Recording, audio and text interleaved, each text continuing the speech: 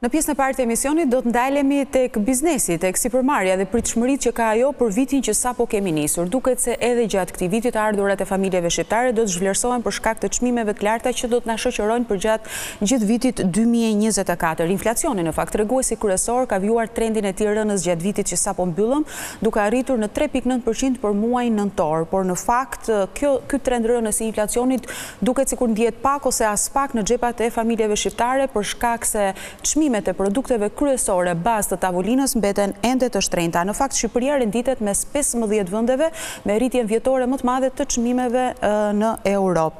Por si pritet të jetë ky vit në këtë drejtim, pra në aspektin e çmimeve dhe rritjes së kostove për sipërmarrje? Në këtë pjesë të parë të emisionit, i ftuari im është zoti Thodhori Kristuli nga Unioni Tregtar. Përshëndetje, faleminderit që jeni në Kozon. Përshëndetje, faleminderit për ftesën. Zoti Kristuli, në fakt ju përfaqësoni Unionin Tregtar, pjesë përbërëse të cilit janë kryesisht biznese importuese, ëh? Janë bizn-. Importuese dhe prodhues pjesërisht. Po, dhe përgjatë gjithë vitit dy mijë e njëzet e tre, kryesisht bizneset importuese kanë qenë nën nën akuzë, nëse mund ta quaj kështu, për shkak se nuk i kanë reflektuar aq sa duhet çmimet në treg, pasi ato kanë rënë në tregjet ndërkombëtare, por nuk janë reflektuar sa duhet në tregun vendas. Ju si do t'i përgjigjeni kritikave të ekspertëve në këtë drejtim? Në fakt nuk e di për çfarë ekspertësh bëhet fjala, por s'është kjo. Është diskutuar në lidhje me prodhuesit shqiptarë kjo rritje, kjo mosreflektim. Ndërsa importuesit e kanë reflektuar. Atë mund ta shikoni edhe sot, e kemi diskutuar në këtë panel dhe herë tjetër. Mund t'i marrësh edhe me radhë artikujt, kë artikull të duash ti, që të tregojmë që ajo ka rënë. Konkretisht, mielli ka rënë. Por kjo nuk është reflektuar në çmimin final të bukës. Aty dalim ke prodhimi. Që janë elementë të tjerë që diskutuam. Unë gjithmonë replikova me, me hyrjen e bisedës. Pra, Si importim, mallrat, domethënë importet janë mjaft të relaksuara, pra aktualisht themi që janë në kuota normale, dhe këtë, këtë mund ta shikoni edhe ke çmimet e karburantit, të cilat pavarësisht se kanë atë tarifim të lartë të taksës, Ka vajtur deri në qind e tetëdhjetë e dy, qind e tetëdhjetë e pesë lekë sipas operatorit. Mund ta shikosh ke çmimi i miellit që ka rënë, mund ta shikosh ke çmimi i orizit, të vajit, po flas për produktet kryesore. Kryesoret të tavolinës po. Gjithashtu dhe ke pjesa e korentit, energjisë elektrike, që e cila akoma nuk nuk është, domethënë edhe në botë është relaksuar si çmim, ka rënë goxha. Kështu që në këtë aspekt, në lidhe me importet, pa hyrë pastaj ke mallrat industriale që janë pothuajse shumë, shumë, shumë të rëna në krahasim me, me periudhën e parë. E kuptuat atë periudhën e parë, ata kishin transportet 18 deri 20.000 dollarë transportin që vinte për kontejnerë dhe normalisht çmimi do ishte super i lartë. Tashi këto janë të relaksuara. Ju thoni që çmimet e importit janë të relaksuara, por po. në fakt keni pasur edhe një tjetër avantazh ju, Zoti Kristulli, pra bizneset importuese, që është zhvlerësimi i euros. Kjo ka bërë që në xhepat e bizneseve importuese të mbeten po themi më shumë para për shkak të këtij zhvlerësimi? Shiko, këtu, këtu, dëgjo Dorë, këtu kam përshtypje që abuzohet pak. Sepse kam dëgjuar dhe në panele të tjera, dhe nga ekspertë, dhe nga teoricienë, që në moment që bie në, domethënë, është euro më e ulët, merr më tepër para. Por, kjo është normal, teorikisht. Por, mos harroni një gjë, kemi harruar kryesoren, jemi ekonomi tregu. Pra, janë njerëz që konkurrojnë. Dhe ky çmim, kjo ulje për efekt të exchange-it, kjo nuk është se shkon e gjitha në fitim. Kjo prapë do hyjë në konkurrencën e vet. Le të themi, në rast se vaji, me euro 1300, 130 lek, ka qenë 230-220, për shembull, me një euro tjetër, 1020 lek, 1030 lek, Ajo prapë do hyjë në konkurrencë të gjithë operatorët dhe prapë do ulet. Pra nuk është se ra një element dhe kjo e gjitha kalon në fitim, jo, nuk funksionon kështu. Kjo do funksiononte vetëm në një ekonomi socialiste, ku komandohesh gjithçka nga gjithkush, pra, nga po, shteti. Zoti Kristulli, po thoni që nga importuesit është reflektuar rënia e çmimeve, por ka ngecur ose është penguar nga prodhimi vendas, nga bizneset prodhuese? Kam përshtypje që po. Sepse dhe ata kanë arsyet e veta. Bizneset prodhuese sot janë në janë vështirësi të mëdha. Këto më duket sikur po i bëjmë përsëritje sepse i kemi diskutuar edhe herë tjetër. Po këtu gjërat nuk ndryshojnë, këtu por problemi është fuqia punëtore po agravohet. E cila është një element shumë i fuqishëm simas elementeve të, simas prodhimeve. Sepse ka prodhime të cilat e kanë shumë të ndjeshëm fuqinë punëtore dhe kanë prodhime që e kanë një çik më pak në përqindje të kostos. Kështu që e para kjo, e dyta, t'i marrim elementet të veçanta, për shembull të marrim bujqësinë. Bujqësia ka pas vështësira. Po. Ka pas vështësira, vërtet u përmirësua tashti gazi, u përmirësua karburanti, Dhe tash edhe ky reflektim ndoshta vjen një çik më vonë, sepse prodhimet gjithmonë japin një efekt 6 muaj mbrapa. Por këto element prodhimi vendas i ka shumë të vështira. Aktualisht jemi me një dyfishim çmimesh për prodhimet vendas për rrogat. A për rrogat. Detyrimisht sipas Domethënë, kodit fiskal detyrimisht do të rriten dhe sigurimet shoqërore të këtyre. Pra, një element rrogat do kalojnë rritje sigurime shoqërore, por këto ku do reflektojnë? Po do reflektojnë të gjitha në koston për njësi të prodhimit. Ajo që unë shikoj edhe e vrojtoj, domethënë, është që kemi dhe rënie të fuqisë blerëse. Këtu desha të ndalesha pak, çfarë sinjalesh keni ju ose çfarë të dhënash keni ju nga puna juaj e përditshme, meqenëse merreni kryesisht me tregtimin e produkteve kryesore ushqimore? Ka ndonjë, reflektohet ndonjë rënie e konsumit? Absolutisht po. Dhe kjo është logjike. Pse? Përderisa aty do të largohen njerëz. A nga braktisja e vendit? Po reflektohet? Le të mos e quajmë braktisje se duket pak term i rëndë, por le të themi largimi i vendit, largimi i njerëzve për një jetë më të mirë. Nga ky largim Të themi po largohen njerëzit më të aftë. Po largohen njerëzit më me moshë më të re, të cilët janë realisht konsumatorë. E kemi thënë dhe herë tjetër. Fëmijët tanë kanë, domethënë, ambicie të mëdha që të kenë shtëpi, që të kenë të blenë gjëra të reja, të blenë gjithçka të re, pra të kemi një rritje masive të konsumit. Po ky, kjo rritje masive e konsumit po po bëhet jashtë shtetit tash. Ata janë bërë klientë atje ku kanë shkuar. Të një tregu europian. Të një tregu europian. Ndërsa ne ë na është varfëruar kjo pjesë, pra pjesa e konsumit. Detyrimisht, ulja e konsumit është një element bazë në koston e prodhimit. Sepse siç e kemi thënë, në rast se ti ke shitur vjet dy mijë njësi dhe sot shet një mijë e pesëqind njësi, të gjitha shpenzimet fikse rëndojnë mbi këto një mijë e pesëqind detyrimisht, kjo është një element në ngritje të kostos së prodhimit. Zoti Kristulli, ju si e parashikoni vitin që sapo kemi nisur, dy mijë e njëzet e katër, a do të jetë më i relaksuar, do të ketë ndonjë tendencë të vijojë rënëse të çmimeve? Banka e Shqipërisë parashikon se inflacioni do kthehet në objektiv gjatë këtij viti, por besoj nga fundi i vitit?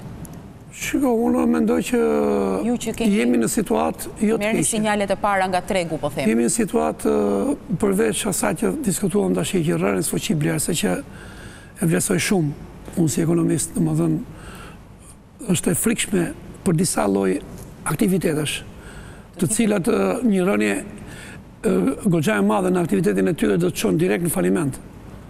Sepse mos harrojmë, kemi dhe importet. Dhe importi është që kanë mbi prodhimin vendas dhe kjo është po. baza e ekonomisë kapitale, lëvizja e qarkullimit të kapitaleve.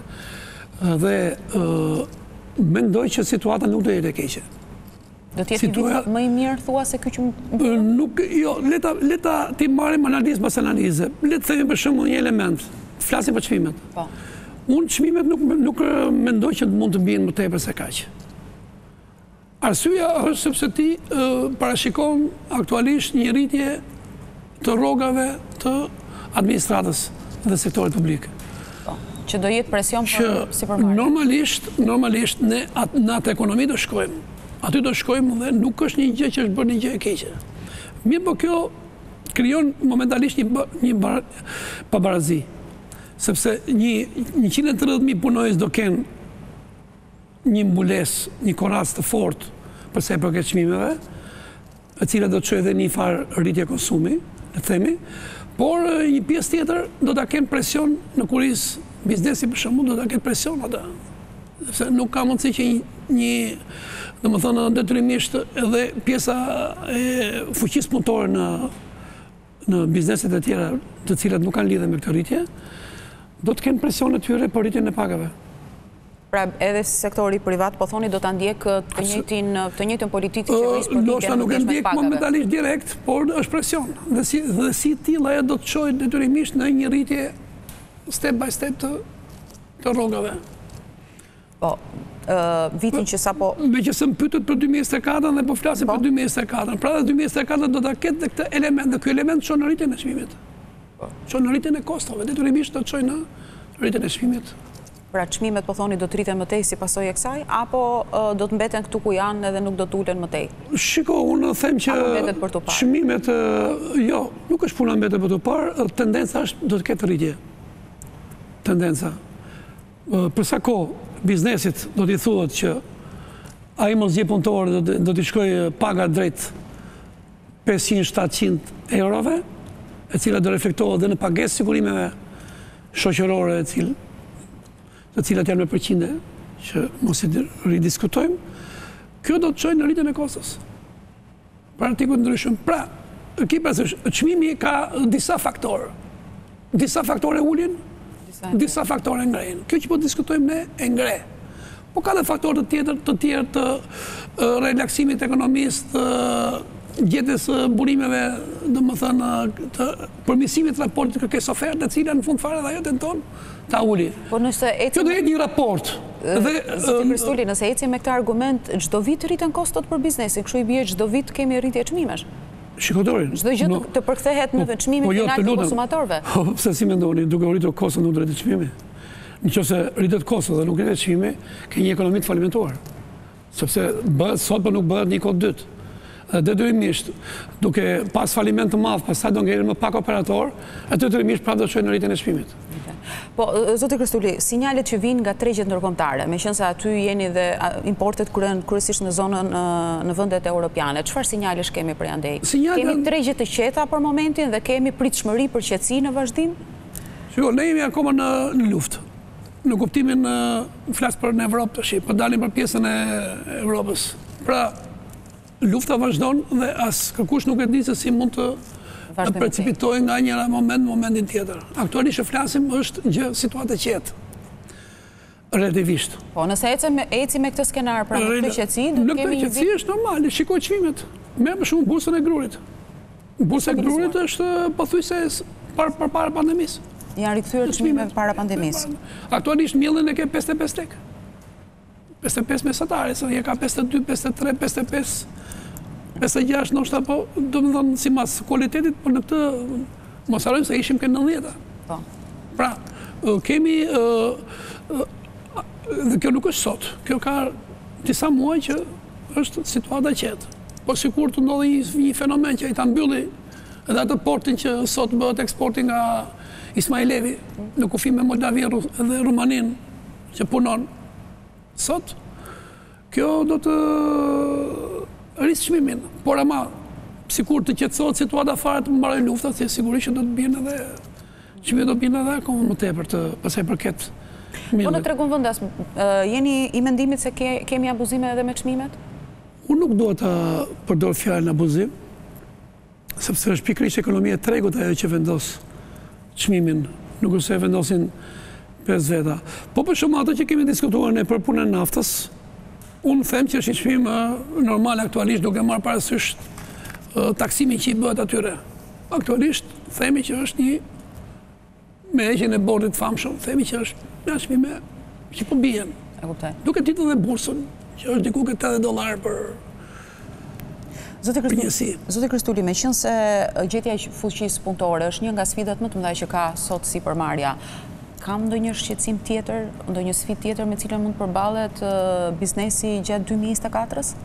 Shiko, ne t'i marrim elementet, Biznesi gjatë 2024-ës, të themi bujqësinë, e cila është, domethënë, nga qejfi i madh që na u bë për pjesën e turizmit, që është kënaqësi për gjithë shqiptarët, domethënë që kemi mundësi që të vijnë sa më të hyjë leku brenda, kjo është ideja, për shembull ke bujqësia kemi shumë për të dëshiruar, pra ne nga ajo që dihet që na fondi i IPARD-it u bllokua, e cila nuk është bllokuar kot, po është bllokuar se ka pas abuzime atje, po. pra nuk ka vajtur leku atje ku duhet dhe kjo është një element që ka këto çmime të larta sot, se se s'ka vajtur leku për atë që duhesh, po ka vajtur leku për një tjetër. Po pa hy këtij diskutimi, ti edhe në buxhetin e 2024 po shikove 14% më pak. Pak fonde. Fonde. Pra, pra prodhimi vendas është problem. Kemi gjithë vitin që gërthasim që ore duhet rritur mbështetja e paketave në bujqësi, ne zvogëluam atë pjesë, kështu që kjo është një element që ka lidhje me prodhimin vendas. Domethënë aty është ngërçi tek prodhimi vendas. E shikoni ngërçin më të madh. Ngërçin shikoje vetë. Po. T'i marrim elementet me radhë. Po. Shikohet ai mall që nga importi. Dhe atë që prodhon. Shikoj prodhimin vendas. Po. Ke bulmeti për shembull, po të bulmetet janë çmimet. Ke gjalpin, ke nuk po zë gjelin e detit, se gjeli e detit është një një produkt që nuk është konkurrencë për për 10 ditë. Po, nuk ka lidhje edhe ai sa e gjen e shet po. ose i ngelet dhe nuk e shet fare. Domethënë nuk hyj ke kjo. Po ke mishin që ashtu